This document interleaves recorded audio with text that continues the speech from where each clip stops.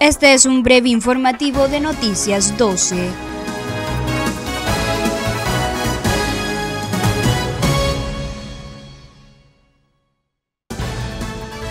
Madre de joven asesinada en el barrio Carlos Fonseca en Managua pide justicia por este crimen. La policía realiza una nueva incautación de cocaína valorada en 80.625 dólares en el Distrito 6 de Managua. Las lluvias en el territorio nacional son beneficiosas para la planta del café.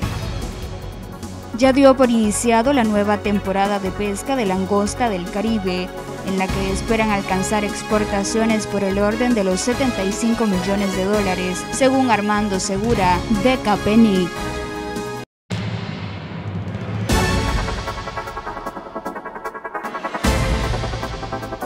Espere la ampliación de estas y otras informaciones a las 6 de la tarde.